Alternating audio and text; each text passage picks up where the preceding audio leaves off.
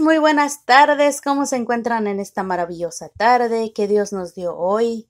Miren qué hermosa planta. Miren, y ustedes dirán, ¿y cómo? Y está en mi cuarto, está dentro. Y no le pega el sol, ah, tanto así, pero está preciosa. Ahora ustedes lo ven preciosa, pero el trabajo que me ha costado cuidarlo, Ah, este, le pegó plagas porque estaba ya muy alto, muy, muy largo. Le pegó las plagas y entonces dije yo, pues las voy a tirar. Pues las tiré, corté unos cachitos nada más y las volví a poner con otro diferente abono. Y miren cómo está, preciosa, preciosa. Me encanta verlas así. Ah, a veces nosotros, ahora estaba reflexionando un poco, ¿verdad?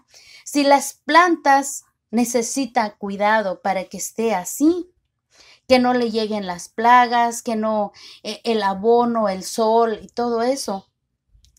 Imagínense nosotras, como nosotras mismas a veces como ah, la mente nos lleva a otro rumbo, ah, nos lleva a, a recordar nuestro pasado o lo que nos hayan hecho o el daño que traemos, entonces, es como las plagas, ¿no? Eh, ah, se invaden en tu cuerpo, en tu mente, y dices tú, wow, se me quedo ahí. Te puedes quedar ahí semanas, meses, días, años, guardando ese, ese daño, recordando ese daño, y más si esa persona que te dañó, eh, tú lo ves y te entra ese orgullo de no hablarle, de, de odiarlo, de desearle el mal. Esas son las plagas.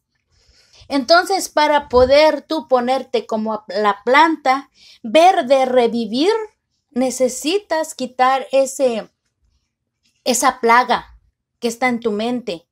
Necesitas borrarlo hoy. No, no lo borras por completo, sino lo sanas y aprendes a vivir con eso.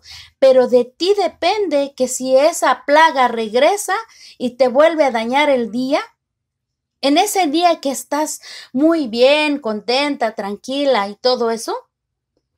Pero lo que sí tengo muy en claro, que nosotros no podemos ser verde como la planta si no tenemos a Dios en nuestras vidas.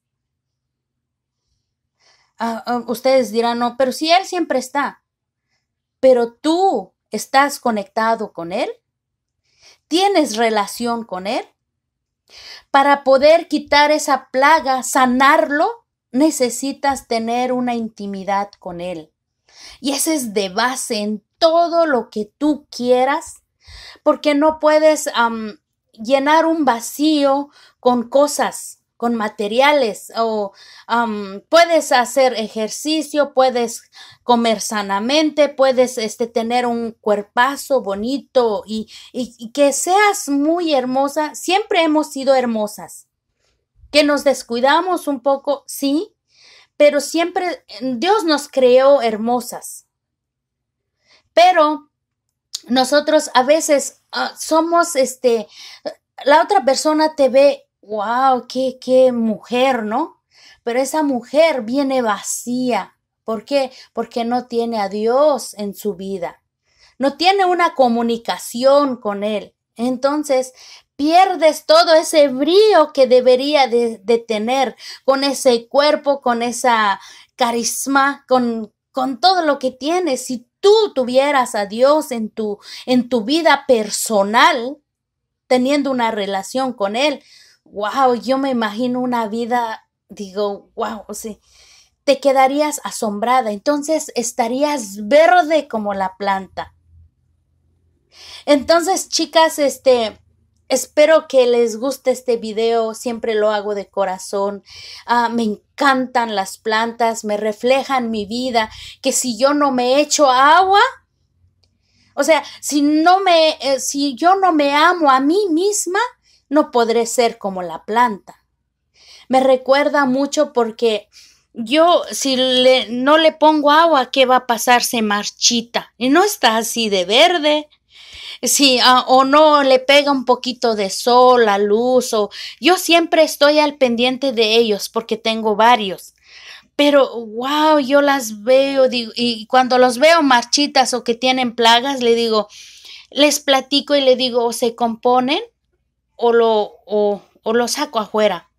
Y imagínense si las plantas son verdes, ¿por qué nosotras no? Somos criadas por Dios, somos hijas de Él, somos hijas del Rey.